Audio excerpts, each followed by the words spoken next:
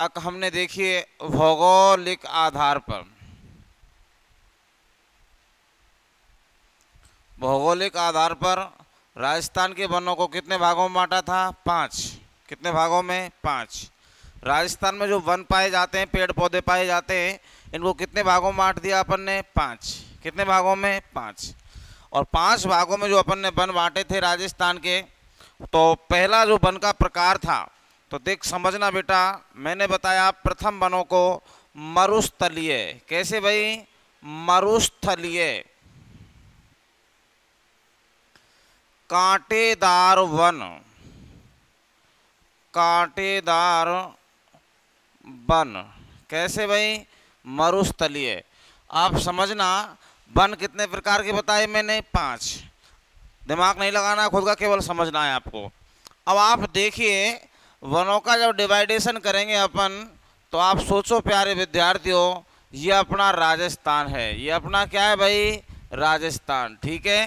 तो आप देखिए, मैंने आपके लिए बताया, प्यारे दोस्तों अक भाई राजस्थान में ये एक पर्वतमाला गुजरती है। ये क्या गुजरती है? एक पर्वतमाला, समझना हाँ? और पर्वतमाला है ये अपनी जो अरावली, कौन सी है भाई? अरावली। और प्यारे दोस्तों, ये राजस्थान का पश्चिमी भाग है, ये राजस्थान का उत्तरी भाग है, ये राजस्थान का पूर्वी भाग है और ये राजस्थान का दक्षिणी भाग है। डायग्राम में समझना है, रटना नहीं है, दिमाग में लिखना है सीधा, ठीक है? अब आप सोचो, ये जो राजस्थान के अरावली में जो मैंने वाइट लाइनें खींची हैं, यहाँ पर पाया जाता है डेजर्ट डेजर्ट कहें तो आपको इधर क्या देखने को मिलेगा? मरुस्थल मिलेगा। क्या मिलेगा? मरुस्थल। अब आप देखिए मरुस्थल और मरुस्थल का नाम आपको पता है, यहाँ पर है थार का मरुस्थल। थार का मरुस्थल। अरावली के पश्चिम में, इधर वाले क्षेत्र में टोटल जिलों की संख्या है तेरह। कितने ज़िले हैं? तेरह। तेरह जिलों में से बारह ज़िले ऐसे हैं जो किसमें आते हैं? मरुस्थल में। एकमात्र जिला आपका बचेगा, वो बचेगा सिरोही। कौन सा बचेगा? सिरोही। जो मरुस्थल का जिला नहीं है। तो आप सोचो, बारह ज़िले राजस्थान में डेजर्ट में आते हैं।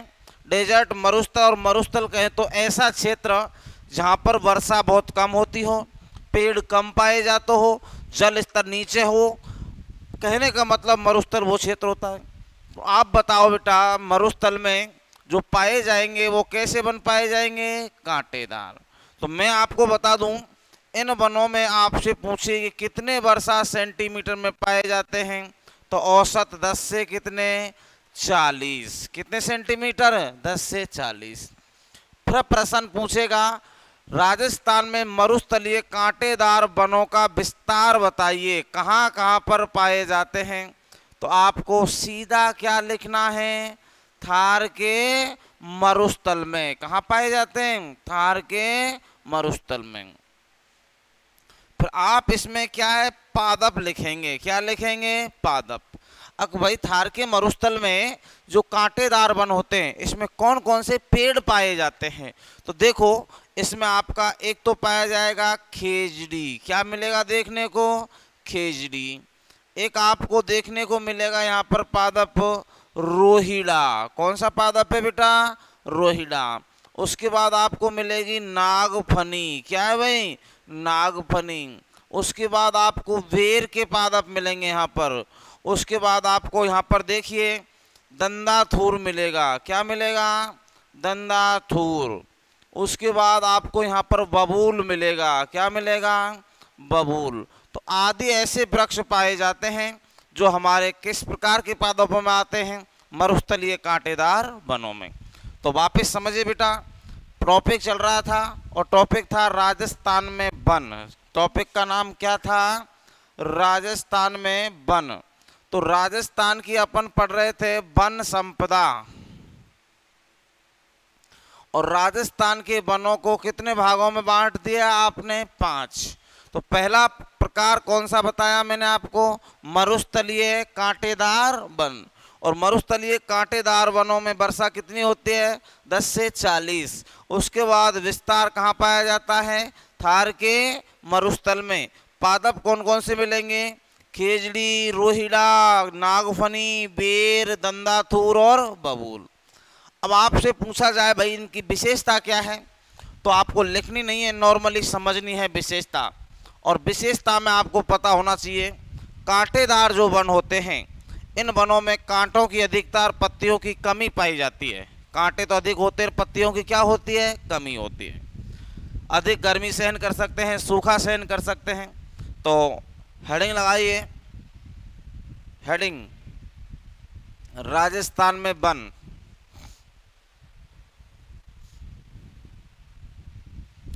राजस्थान में वन।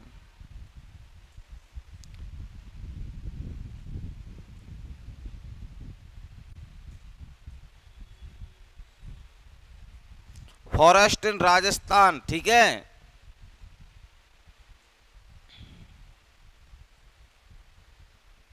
लिखे नंबर एक, शुष्क मरुस्थलीय कांटेदार वन। शुष्क मरुस्थलीय कांटेदार वन।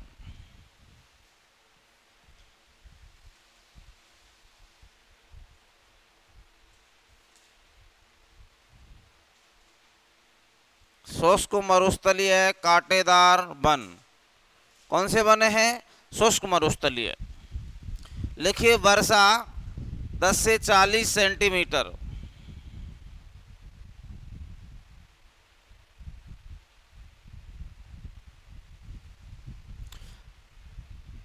लिखिए विस्तार थार के मरुस्थल में।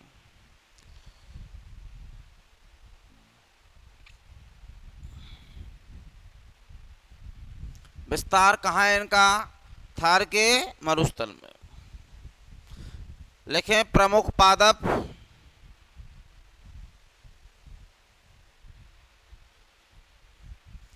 खेजड़ी, रोहिड़ा, नागफनी, बेर, दंदाथूर, बबूल।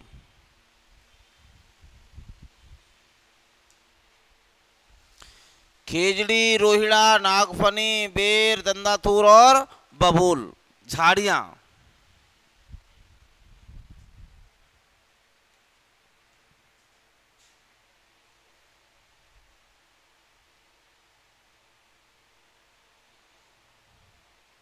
झाड़ियाँ। लिखिए।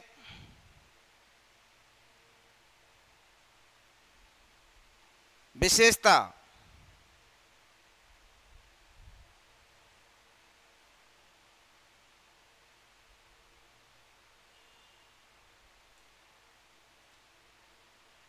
विशेषता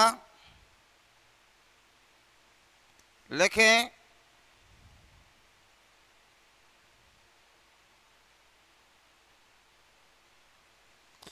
पत्तों की कमी व कांटों की अधिकता पाई जाती है।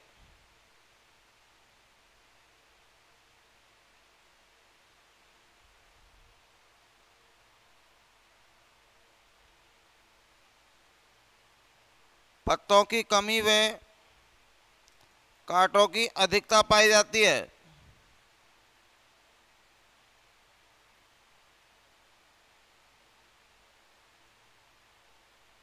पत्तों की कमी व कांटों की क्या पाई जाती है? अधिकता।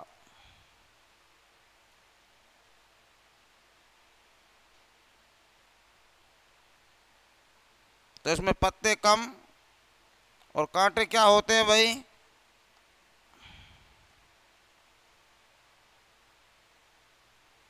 अधिकता पाई जाती है। ठीक है? लिखें, अधिक गर्मी व सूखा सहन कर सकते हैं। अधिक गर्मी व सूखा सहन कर सकते हैं। अब आपको देखो, इतना आप सोचना, एक साल एग्ज़ाम में प्रश्न कैसे आएगा? तो आपसे पूछ सकता है वो प्रश्न का तरीका भी देख लीजिए साथ साथ में आपके। तो उसने दे दिया प्रश्न।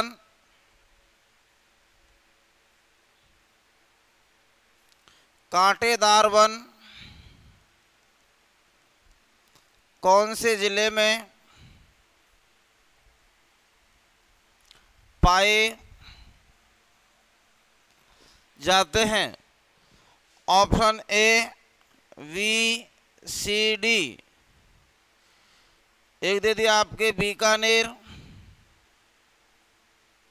अजमेर, बांसवाड़ा, अलवर। कांटेदार वन कौन से ज़िले में पाए जाते हैं? तो आपका उत्तर सीधा क्या हो जाएगा? बीकानेर। तो वनों को कितने भागों में बांटा? पाँच। एक प्रकार के वन कंप्लीट किसी को कोई प्रॉब्लम प्रॉब्लम किसी को? तो राजस्थान में कांटेदार वन थार के मरुस्थल में पाए जाएँगे।